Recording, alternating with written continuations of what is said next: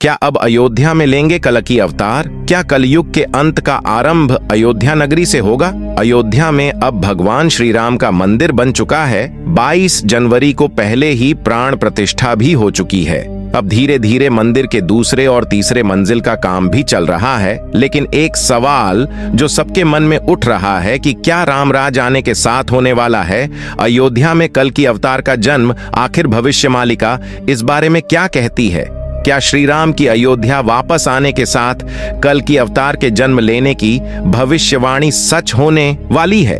क्या अयोध्या में अब कलक की अवतार का जन्म होगा और राम राज्य में ही नारायण कलक रूप में अवतरित होंगे? क्या कलयुग में श्री राम ही नारायण के कलकी अवतार हैं? आखिर क्या है इसका पूरा सच? इस वीडियो में आज हम जानेंगे तो अगर आप भी जानना चाहते हैं तो वीडियो में अंत तक बने रहे दोस्तों। द हिंदू 71 यूट्यूब चैनल को आपके सपोर्ट की आवश्यकता है। हमें सब्सक्राइब किए बिना मत जाइएगा और वीडियो को लाइक भी ज़रूर कर दीजिएगा। शास्त्र कहते हैं कि जब जब धरती पर पाप बढ़ता है, तब तक नारायण किसी न किसी रूप में धरती पर अवतरित ज़रूर होते हैं। आज से 500 साल पहले एक महान संत हुआ करते थे, जिनका नाम था संत अच्युतानंद दास, जिन्होंने अपने जीवन में किताबें लिखी और इन किताबों में से एक थी भविष्य मालिका, और इस भविष्य मालिका में, भविष्य में होने वाली कई सारी घटनाओं के बारे में लिखा हुआ है, जिनमें से कल युग से जुड़ी हुई भविष्यवाणी शामिल है दोस्तों।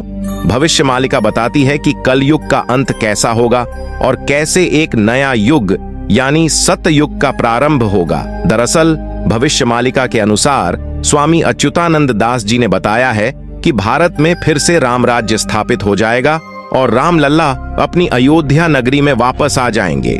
तभी भगवान नारायण के दसवें अवतार कल की अवतार का जन्म होगा।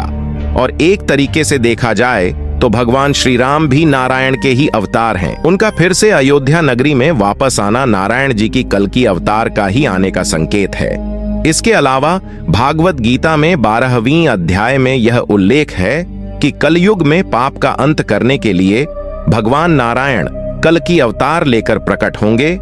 वहीं नारायण ने अब तक नौ अवतार लिए हैं, जिनमें मत्स्य अवतार, नरसिंह अवतार, वामन अवतार, परशुराम अवतार, भगवान श्री राम अवतार और भगवान श्री कृष्ण अवतार।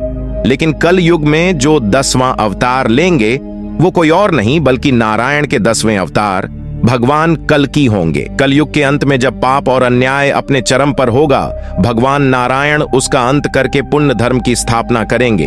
अब तक नारायण ने नौ अवतार ले लिए हैं। कलयुग में भगवान नारायण अपना दसवां अवतार लेंगे और अवतार लेकर कली राक्षस का वध करेंगे। वही है जिसने कलयुग को अपने नियंत्रण में कर रखा है। वहीं श्रीमद भागवत महापुराण में लिखा हुआ है कि भगवान कल की अवतार कलयुग के अंत और सतयुग के संधिकाल में ही ले लेंगे।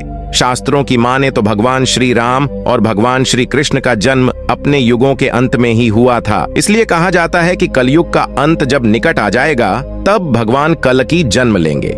वहीं अग्नि पुराण के सोलहवें अध्याय में कल की अवतार का चित्रण तीर कमान धारण किए हुए हैं। अग्नि पुराण के अनुसार उनके हाथ में चमचमाती हुई तलवार होगी।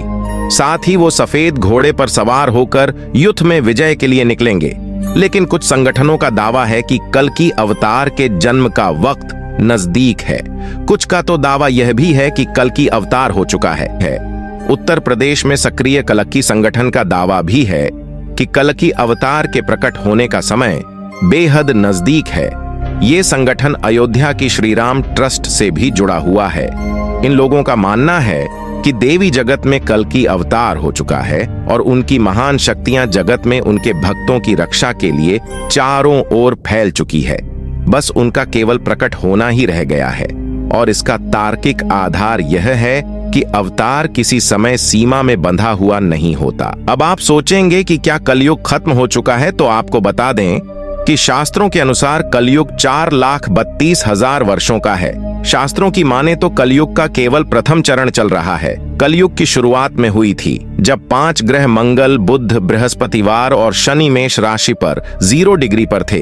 कहते हैं कल युग की पाँच हज़ार एक सौ उन्नीस वर्ष बीत चुके हैं और चार लाख छब्बीस हज़ार आठ सौ इक्यासी वर्ष अभी भी बाकी हैं। अभी से ही कल की जयंती मनाई जा रही है। कल की अवतार के जन्म के बारे में बहुत से पुराणों और शस्त्रों में भी लिखा हुआ है।